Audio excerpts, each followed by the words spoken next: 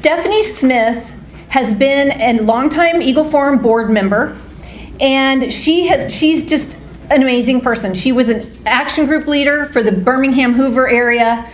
Unfortunately, she left us, but she left us to become CEO of Alabama Policy Institute, and she's doing a fabulous job. We love her. She was going to speak today about what needed to be included into a good school choice bill to allow freedom for parents, but to also have the transparency and the, the accountability. Well, we got a call from her this morning. She had an emergency come up and she was not able to be with us. But one of her right hand ladies from Alabama Policy Institute who's working with them, Sheila Banister, she is in the Republican women's world. And so many of you may know her already. She's got some of Stephanie's notes. And then I'm going to tag team along with her when she's finished because I've read through the governor's new educational savings account bill and I will tell you what I know about it and how we feel about it at this point. So, again, uh, please welcome Sheila Banister from API.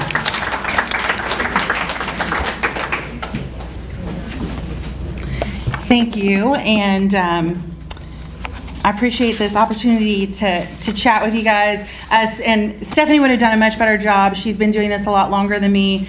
Um, but it's it's been really fun to work with API. I just started working with them uh, in December um, on school choice and just um, working with uh, getting this done. And I just wanted to share just a short brief uh, about me and how I got involved. Um, so I about five years ago we we moved to Alabama. I live in North Alabama in Madison.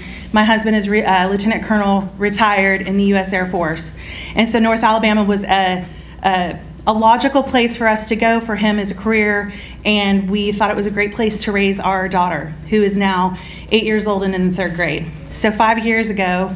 Um, moving to Madison, I was told that the schools were most excellent, the best in the state, and then I started hearing other things from the people who actually live there. And so I started getting more, just more and more involved. And so um, researching, trying to lobby for changes. Um, I ran for Alabama House District 4 uh, two years ago. That was a great learning experience. I ran on a heavy education platform. Um, I'm very passionate about it and uh, amen to the people who've been talking about education. I could tell you more and more horror stories about things because I have people call me on a weekly basis about things that they're seeing their kids um, having to face in the public schools with these new programs, especially since COVID. Um, we made the decision to put our child in, in private school, and so she's attending there. But as someone who comes from a long family of not only educators but people in the public service, I feel like I still have a responsibility to help our neighbors and the people across our state to protect children and families. And so I'm just really appreciative of that opportunity um, to work with API. And so um, I know most of you guys are pretty well educated and know what's going on. Um, in the education world and especially with education funding. But first and foremost, I think um, from API standpoint is there's a paramount question that we have to answer um, in our communities and across our state, and that is who knows what's best for their children?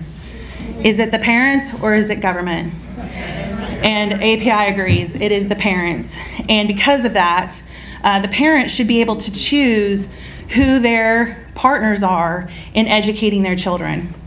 And unfortunately, which I think all everything or most things that we start in life always have really great intentions.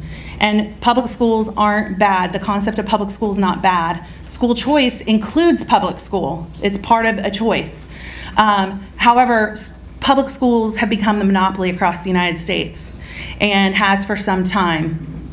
And so uh, API believes that we should have agency, parents, grandparents, guardians should have agency in choosing who their partners are to educate students. Um, and so that is why API strongly supports school choice legislation. Now, one of the things that your legislatures will tell you is that, well, we already have school choice. We've had school choice for a long time in um, Alabama. And while that is technically true, Uh, in, in practice, it's not true. Um, so we have a couple different programs. We have we have public schools. We have some magnet schools within the public school system that focus typically on music and STEM programs. We have the Accountability Act, which is a tax. Um, actually, I gotta look at my notes. I always get these two uh, mixed up. Um, yeah, the Accountability Act, which is uh, the AAA program. So, and that impacts about 6% of the students across the state. And we, then we have the Education Scholarship Program that um, impacts less than 1% of the students across the state. We also have charter schools. So we had charter school legislation that was passed roughly 12 years ago. Um, and unfortunately, unlike other states, we only have 17 charter schools across the state to date. Um, a lot of other states, when they implemented their uh, charter school legislation, charter schools um, were, they just took off. Um, in North Alabama, for example, which is where I'm most familiar with what's going on in education, uh, there's no charter schools north of Birmingham. So charter schools are not even an option in North Alabama. And so while we have technically on the books school choice, that's not really school choice for all in the state of Alabama. So then you have your option of you can, as a parent, um, take on an additional expense in, in addition to your taxes that you already pay in for education to then take on additional expense and, and either homeschool your child or send them to private school. Um, so also another thing that a lot of people will tell you is that if you uh, have universal school choice, which is what API promotes, you will destroy the public schools. And um, and and or they'll either say that or they'll say, well, it's too new of a concept. Um, we need to wait and see how it works out other places. That's simply untrue. The modern day school choice programs have existed since the 90s, um, and so they've been around for quite some time. Um, and it doesn't destroy the schools. The schools. Um, a lot of teachers are the um, uh, opinion that actually could alleviate a lot of the pressures on the schools with having more educational options. You'll have lower class uh, student to teacher ratios. Um, also, if you look at other states where school choices have, uh, programs have been implemented, you don't see this mass exodus.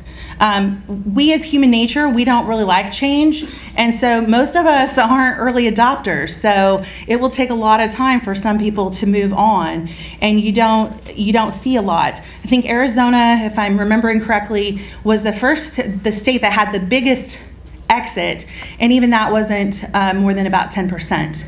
Um, so you're not you're not seeing this max mass exodus that would eliminate um, major funding from the schools, or even major student exit from the schools. Um, the third one is it hurts teachers.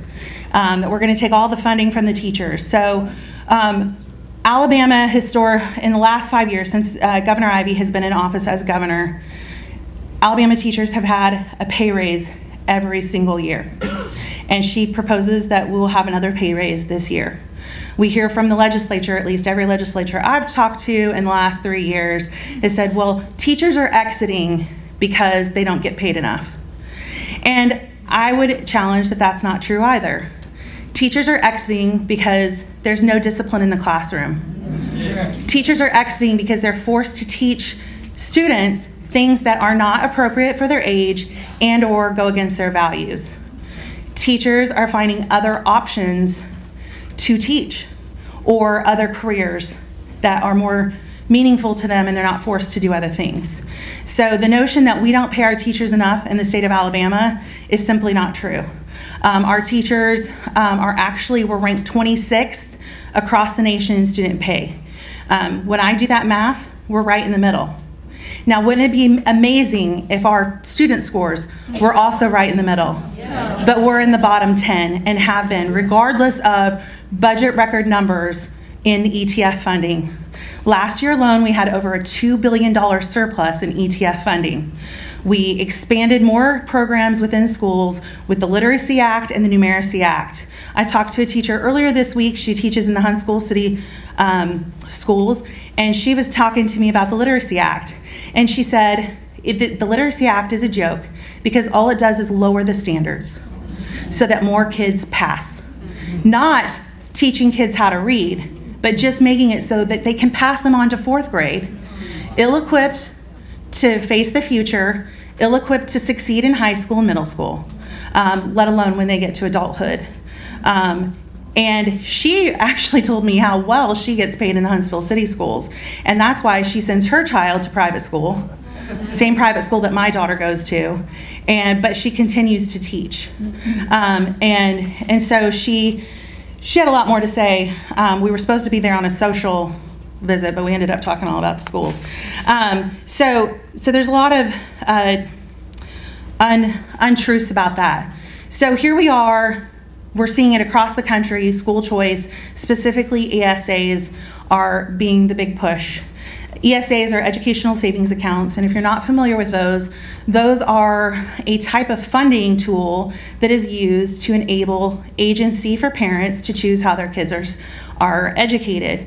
And they vary, the way these programs are executed, they're very, they vary from state to state.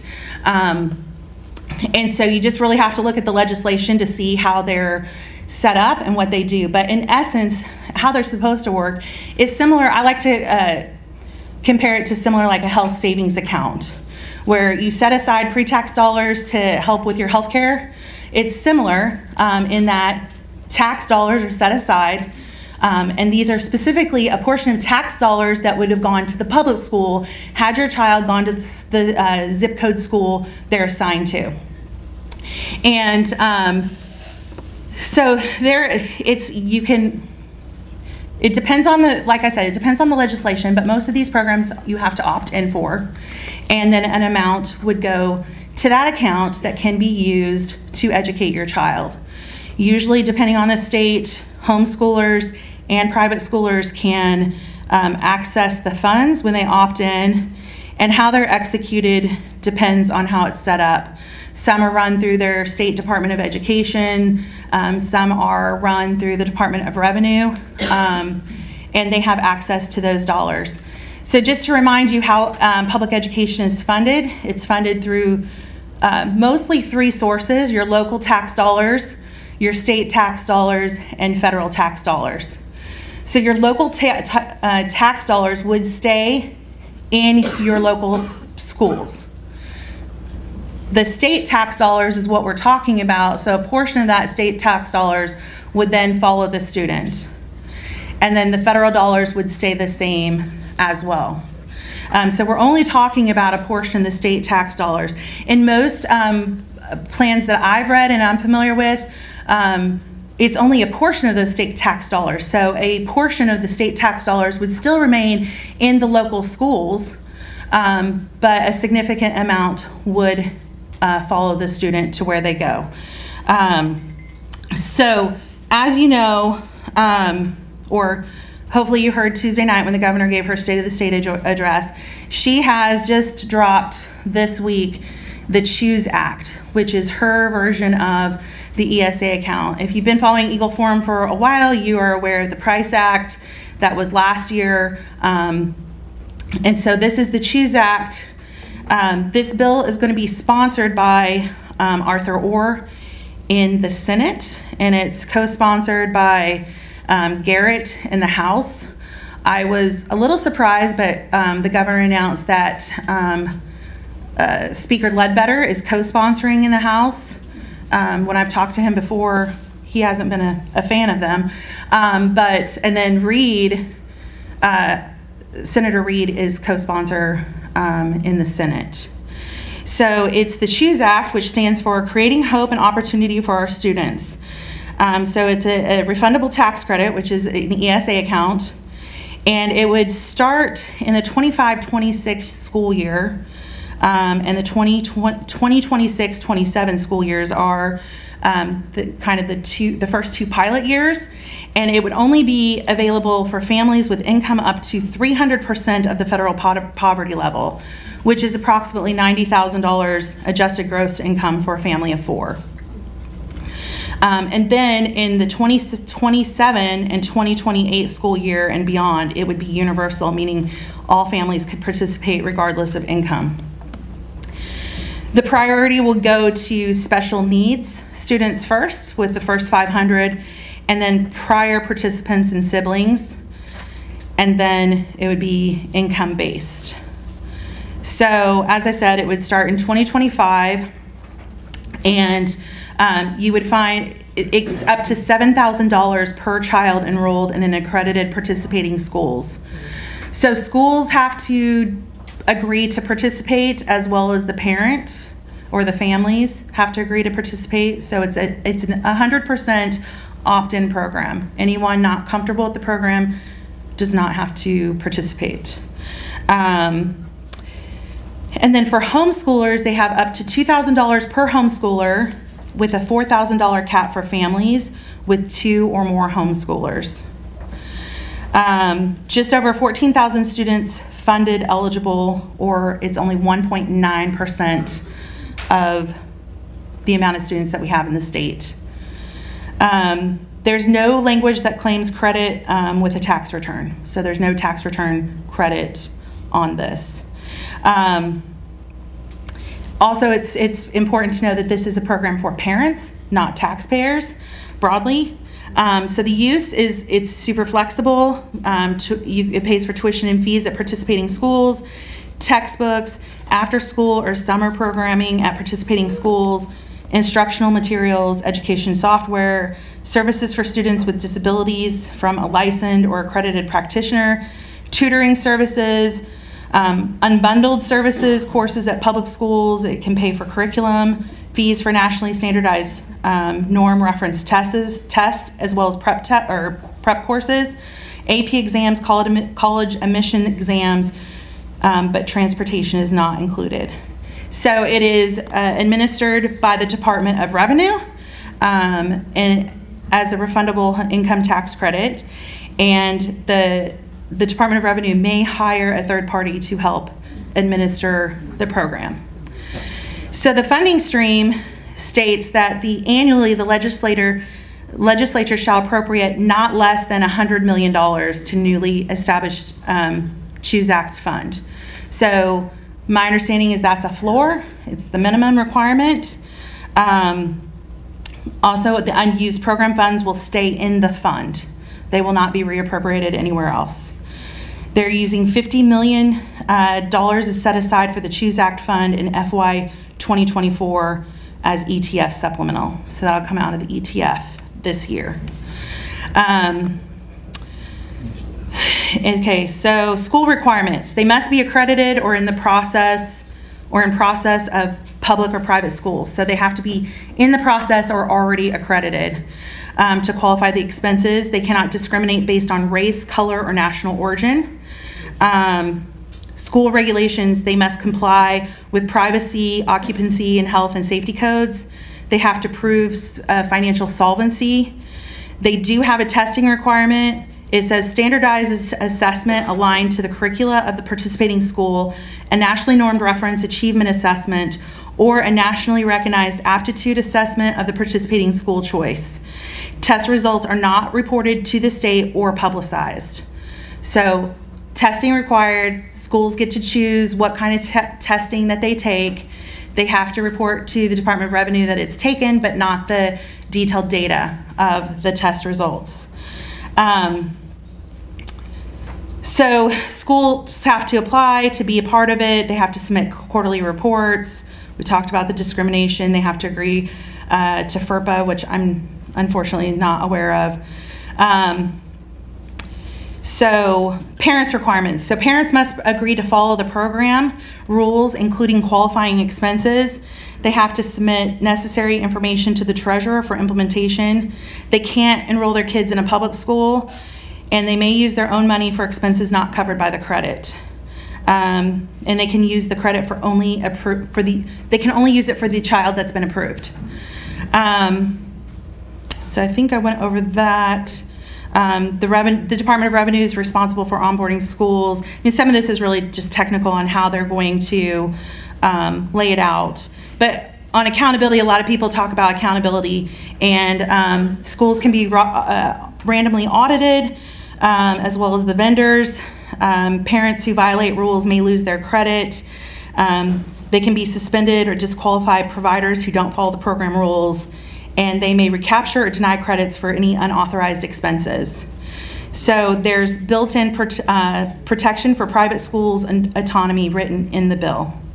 So I just went over very, very quickly the bill. I don't know if Becky, you wanted to say anything more about the bill, but. Okay, we'll give you a great hand for a wonderful synopsis on the fly.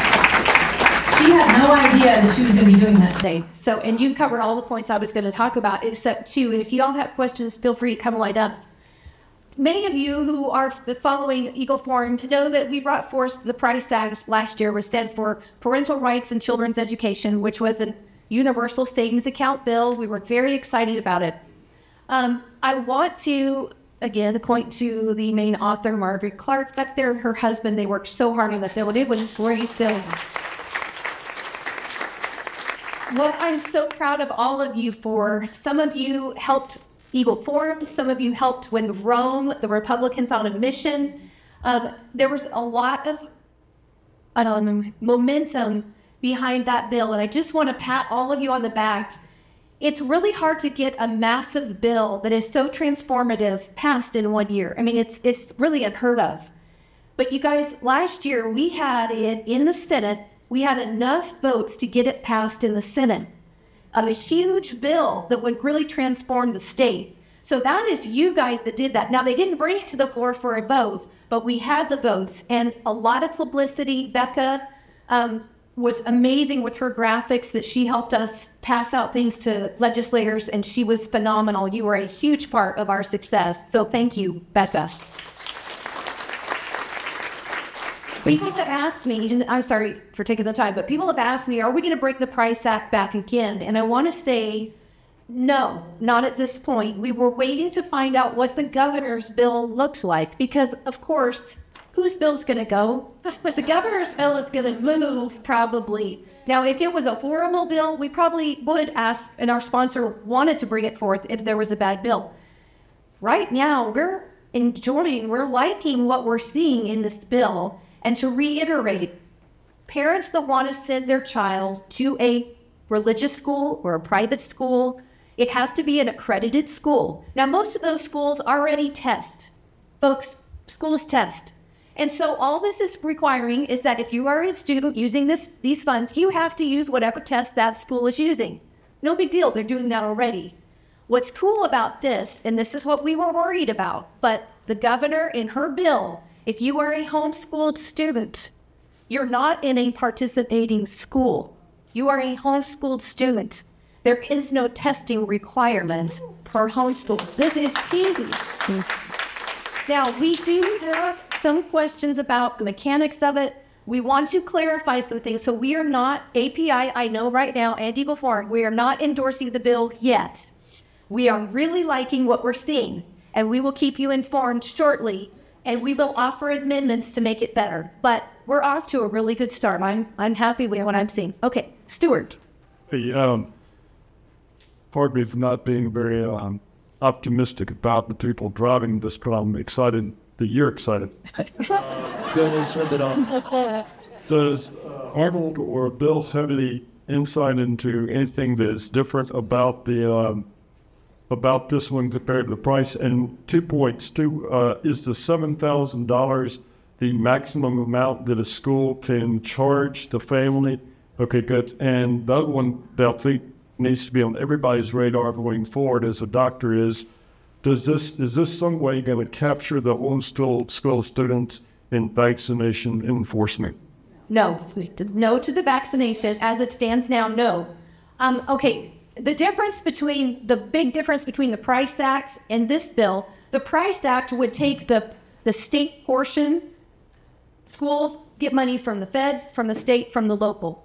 The Price Act would take the money from the state, seven thousand dollars, and give it to an account that the parent would use the kid. This is a tax credit. You have to apply for a tax credit. This is different. This we actually like this better. This this is a good thing. So it is. It, that's the main difference. Um, it's still going to run by the Department of Revenue like the price It is very similar, but I actually think in some ways it might be better. And if it's making the homeschoolers feel more comfortable. Come up. Okay, I just had one red flag and all that, and it's really just because I don't know what are the requirements uh, in order to be an accredited school? Because I thought in the past I had heard that the teachers actually have to be certified in the area that they're teaching. And I don't know, I just, I, I think that could phase out some private schools in a hurry because a lot of times the teachers are not teaching in an area that they have a degree in. Can I answer that? Yeah. Okay, so good question, great question. This will keep a lot of good private schools out of the mix because they, some are not accredited, some don't have all the rules. So those schools would either change and become accredited or they just won't participate and parents will just still pay for it out of their pocket. That's how that's going to work. Uh, there are six accrediting agencies that Alabama schools use. So the school can pick which accrediting agency they want to go under, and maybe there's some that aren't quite as tight as others, and they could go that direction. But you have to be in one of those accredited associations to be able to participate. And that can change over time. They can add different things, and this is just getting our foot in the door. I shouldn't say are, getting the foot in the door. Okay. Curious, why is it do we have so few charter schools? Caveat.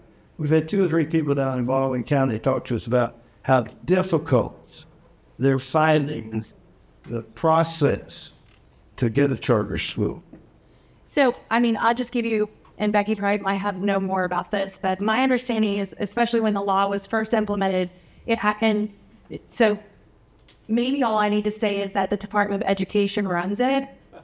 Uh, but it is run through the Department of Education, and it was very, very difficult um, based on the rules and regulations to get it started.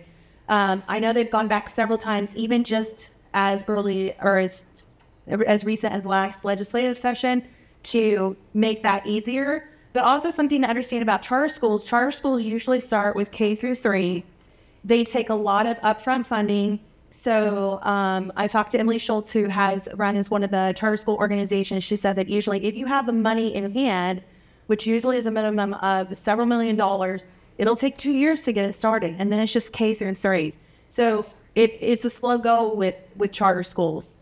That is the main answer. There is it. You have to have a private person comes to make a charter school. They have to have the funding up front.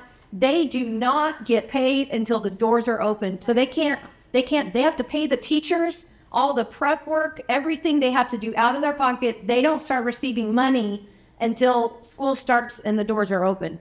And that's the problem. So there was legislation last year that would allow some pre funding to go to these good schools and then, as soon as the doors are open and they're rolling in the money, they pay the money back. It was a great bill. It needs to happen. Hopefully, they can get going this year. With our follow-up question, what can we help? Do? Yeah. So we'll keep our eyes on that if it comes back again. But these these good people like Hillsdale College, they're starting these charter schools. Well, you got to have the money up front. So this bill would really help them if we could get that passed. So Barbara Drummond, Democrat Mobile, um, was interviewed on TV, and she asked the question, "What keeps the schools from going up in their prices?" Oh, Scott. Okay, that's your question. Okay, that is a great question. So, you want to answer that? Or well, I mean, I don't know that it does. Um, for instance, this, so my daughter goes to Lindsay Lane Christian Academy, which is out of Limestone County, which is where we live. Um, when we started there back during COVID, she was in kindergarten, which is why I wanted her in school and not online.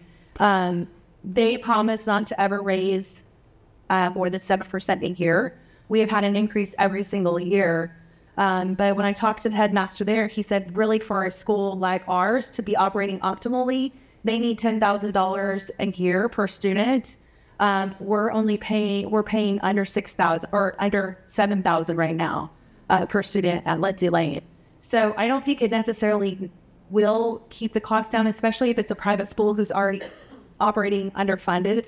Um, but maybe you have something better. Yeah, one of the things to mention about that is that it's the free market. When they know that funds are going to be available for their schools, they're not going to be, some may jack their prices up, but most of them are going to be competing for the students. And so there will be a free market aspect to it to keep the prices down. But if they're only charging three thousand dollars now and they can get seven, some of them are probably going to raise it, and that's you know that's the free market. That's what happens. Well, and one thing that you know I talked to the headmaster about too is that if this goes into effect, like they can't raise tuition to ten thousand dollars in one year because most of the families in our school aren't even going to qualify until year three of implementation. So you will price almost your entire student body out of the school before the program is been fully implemented. And I think they're aware of that and are, you know, keep an eye on that too. I don't think most schools want to lose their already uh, loyal families. All right, last question. Another great AG leader, action group leader. Thank you for being here.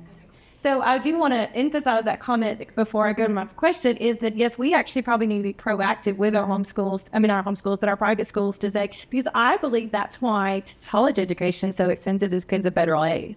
If they know they're getting that much, that is the parent can give that much more. And so I, I mean, I'm spending fifty thousand dollars a year on tuition. Thank you, federal aid. And so I think we'd be aware of that.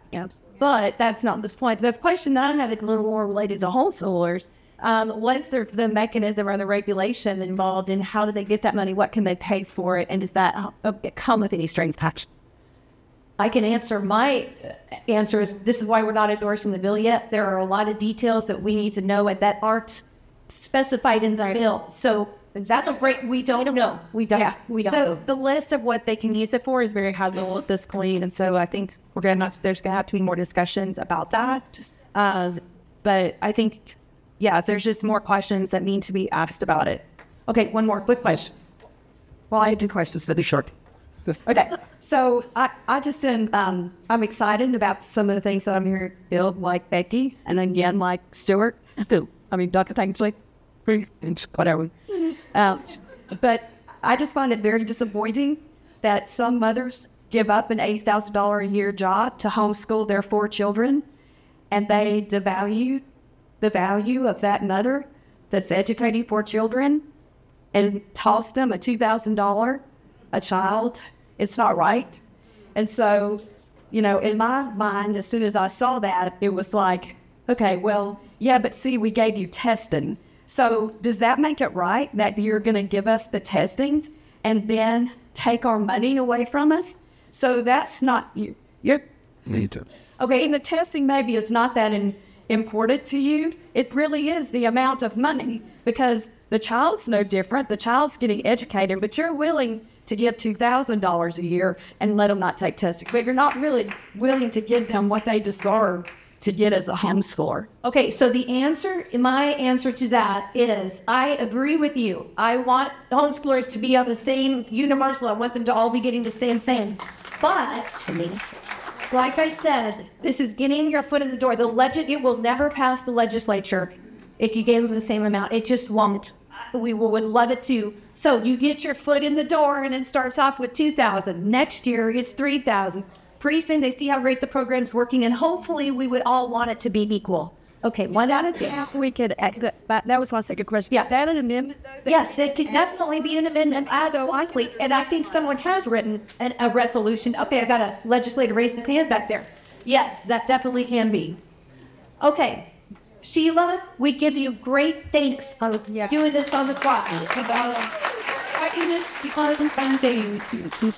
the teachers union and the retirement system, RSA, they are already out to kill this bill and anything like it. Not even 24 hours after the governor talked about this, my phone was blowing up asking me questions for clarification on the bill because of emails that are already coming out. Um, so be educated, read the bill, share with your neighbors and friends. We need to liberate our kids. And if you didn't know that before, the presentations in front of me should have convinced you of it. Thank you. Amen. Thank you so much. Okay.